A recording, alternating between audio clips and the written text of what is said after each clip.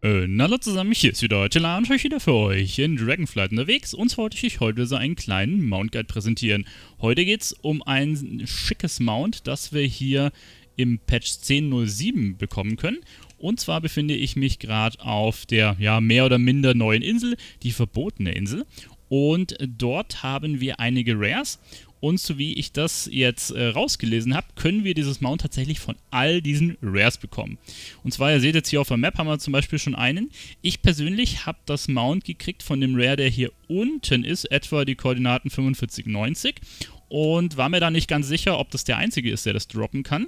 Aktuell ist die Datenlage jetzt noch nicht so ganz gut, da wir auf WoW Head, wie ihr seht, bei dem Mount noch kein Loot-Verzeichnis haben. Aber was wir mittlerweile schon haben, sind halt sehr viele Leute, die hier schreiben, von welchem Rare sie es äh, bekommen haben. Und wenn ihr hier die Dinger ein bisschen durchlest, es sind quasi fast jeder Rare wird hier genannt, den es auf der Insel gibt.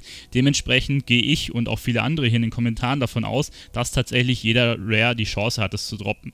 Ich habe jetzt gestern am ersten Tag etwa 10, 12 Rares umgehauen und heute beim ersten, ähm, den ich am zweiten Tag des Patches umgehauen habe, war direkt das Mount drin. Und viele schreiben das auch, dass sehr wenige Tries das Mount hatten.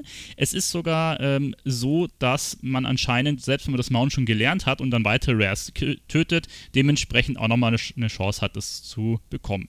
Einige haben auch davon berichtet, dass man dementsprechend das dann auch traden kann.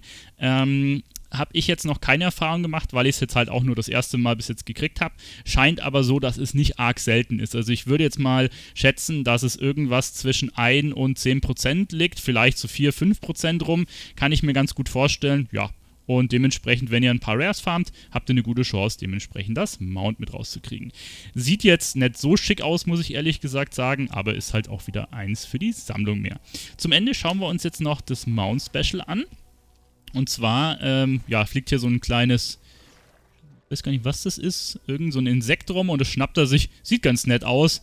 Äh, der Gang des Viechs ist ein bisschen gewöhnungsbedürftig, sage ich euch ganz ehrlich. Und ja, von diesen Salamander-Pets hat, oder Mounts besser gesagt, äh, gab es ja schon anderes bei dem Händler über den äh, über diese Währung. Und zwar war das jetzt hier dieser inventare Überfluss.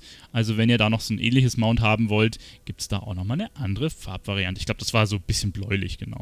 Gut, das war es eigentlich mit dem kleinen Videoguide. Ich hoffe, der eine oder andere hat dann noch bei den Rares Glück und kriegt auch sein schickes Mount raus. Und ja, schaut vielleicht mal drauf, wenn ihr es ein zweites Mal gedroppt kriegt, wenn ihr in der Gruppe seid. Vielleicht könnt ihr es ja traden und irgendwem anders auch nochmal eine Freude machen. Ich verabschiede mich an der Stelle. Hat mich gefreut, dass ihr dabei wart. Euer Telar. Bis zum nächsten Mal. Ciao.